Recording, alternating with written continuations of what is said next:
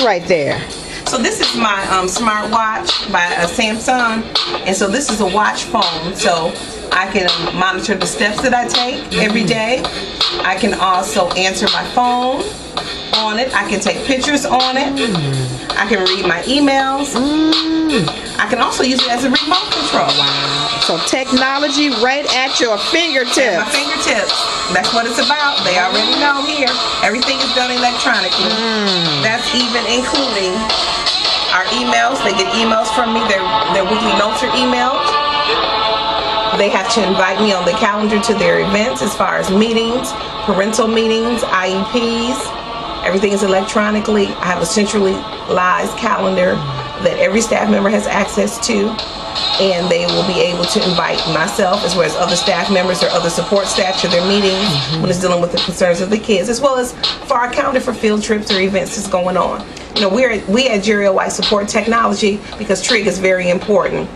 And with the TRIG training, all it has done is help to be able to open up the broad horizon, broad horizons of the technology here at Jerry White. Very good. And what about the coaches that you selected? You trust that they can carry out this mission of technology throughout your building? Oh, definitely, definitely. Um, my two coaches are awesome, um, Miss Ellery and Miss Stewart. Um, actually, Miss Ellery is also my, my data person. So all of our data up in the building and things like that, they work together with that because as uh, Miss Ridgeway is one of her five pillars, you know, it's got to be data driven. All right. Well, thank you so much. Thank you. We thank over you here technology at Jerry L. White. Thank you. Ramona Vincent. I'm the assistant principal at Jerry L. White Center. And uh, today I would like to tell you how I'm working with the TRIG program as well as how it has helped our staff and how they're using it. Um, well, for me, working with the TRIG program, right now I'm actually on Module 8. And um, one of the things that I like about this particular module is the blended learning. Uh, I've watched the video and I've just got finished posting a response. And what I like is how you can incorporate um, what you do into the classroom and that's coupled with teaching students online. And that would be the blending portion. And it's not just in isolation. It's not just straight teaching from online as well as it's just not straight teaching from the classroom. And the teachers would blend the learning. Now I have to say that some of our teachers are somewhat incorporating that with the technology that they're using into the classroom. What this particular module is going to do is teach them how to blend that online where the students can actually look at them while they're teaching if we're not in class. For example, yesterday we had a snow day, and that would be a perfect opportunity for the students to blend their learning, what they have already had learned previously, and they could be online with, with their teacher, as well as when they came back to school today, they would be maximizing that learning into the classroom. And that's what we've been learning here at Jerry. White with the TRIG program. And again, we're so enthralled to have the program and come on by one day and check us out.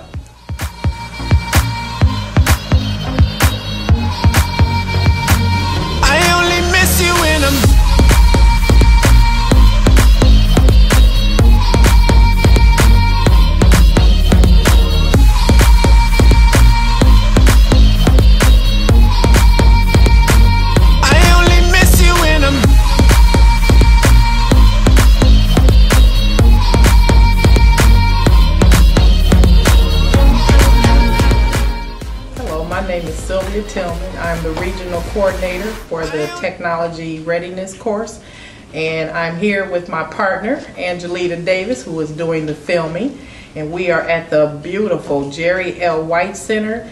And we are here with two coaches that work on the TRIG course here at Jerry L. White. We have Lenore Ellery and we have Renee Stewart. And they are the awesome coaches here. We just heard from those two wonderful administrators that are also involved, which makes a difference. So I want to ask you ladies a few questions about the technology readiness course. So we'll start with Renee. What do you think about? Give us some highlights. Okay. Uh, one particular highlight is the uh, access to the um, what is it? The Google. In which case you have so many options of sharing and saving information and developing your digital portfolio. It's a very powerful tool, and so it has empowered our staff uh, in using the technology for our own purposes as well as with the classroom. The T3 course has been an awesome tool for our entire staff. Since our students are going towards online assessments, we're learning at any place, any time, any pace technology gives the students the tools that they need to learn anywhere, any place, at any pace. Well, we have found out, my colleagues and I, a very wonderful resource is the Michigan Electronic Library. We uh, talked about that in Module 2, and during our training, we still bring a portion of that up because there is a plethora of activities that students can do. It's free, and it's by through the state of Michigan. Uh, our students do online reading. There's research they can do. It's just so much that they can do. Students can work at their own pace, uh, pace, and they're very comfortable using that. And we are too as a staff. Um, the, the T3 course has also alleviated a lot of technology phobias amongst our staff and students. The internet is not going anywhere. It's always been here. It's going to be here for a while. Myself, I am a digital uh, implant, meaning that I was here before the internet. Our students, today's students, are the digital natives. They're here with the internet. Uh, the internet, they're partners, they're working together. Our students, uh, the paper and pencil, that's becoming a thing of the past. Uh, for instance, our students who are doing research, we can have students uh, with the Google, the cloud computing, they can have they can work with somebody in Australia, in Texas, New York. They can work with somebody in Canada, and they can all work on the same research and collaborate. As the internet has made our world much smaller, uh, a lot of our students uh, they are going to collaborate with people from all over the world. And technology is the tool, the magic carpet into the digital age. I have two questions for you, Mrs. Stewart. The first one is just tell us about your facility because we want them to see that um, it's not just the regular education buildings that participate in this um, initiative. And I know your building is a different building, so tell us what you, what type of students you're climbing here. Well, uh, the center-based program uh, involves various uh, categories. One in particular would be the moderately cognitively impaired group, we also have severely impaired, the um, severely uh, cognitively impaired, and we have autistic. So with that blend, um, this does make us a unique setting. Um, we range from students who are in the ages of, well, I think the highest we would go would be 20. And uh, we then begin at uh, just out of middle school. So the students transition from other center-based programs into ours uh, for a high school level. Uh, we do have to have some very unique strategies in approaching the needs of our students as their abilities and performance levels range from very low, perhaps maybe pre-primer up to possibly third and fourth grade. Our goal is to prepare students so that they're able to transition to, for example, a vocational center or programs, uh, actual job opportunities we're able to do at times.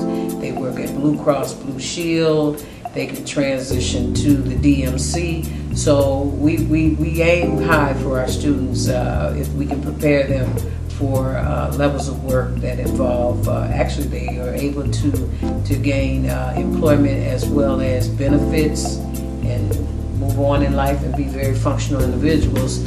Our assessment uh, programs are based upon functional, supported, and participation levels. And that's pretty much how we uh, assess our students, with, and they do take the MI-Access uh, assessment as well.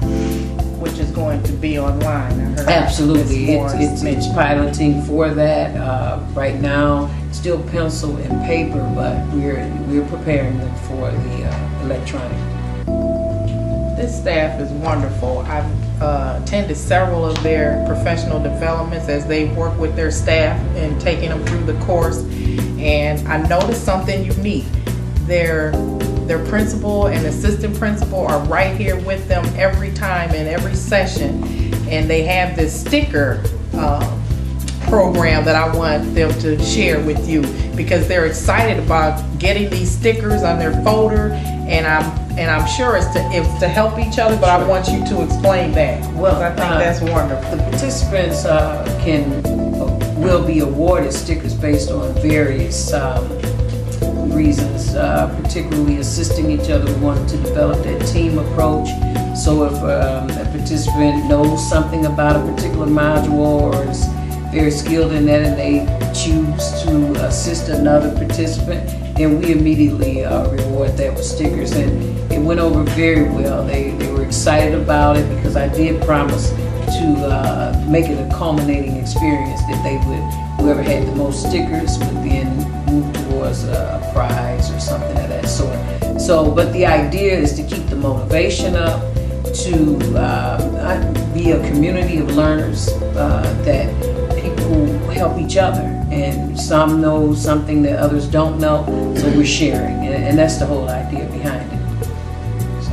And it's amazing at what they've learned. These ladies just came in. They didn't go through the summer training, but they came in around September, October, Mid-September. And have just taken off. And it's just amazing to see their participation and excitement. So if you want to share anything else before we close out, Ms. Ellery? I just want to say that we are extremely blessed. We have uh, two of the very best administrators in the district, Miss Moore Patton, uh, Miss Vincent. They have given us 110 support uh, percent uh, support of what we've done. We're blessed to have all the technology, and the thing that we have learned the most is the motivation of working together. We all learn from each other as we work together. Uh, we teach the students, we learn from the students and it's it's a blended family learning community.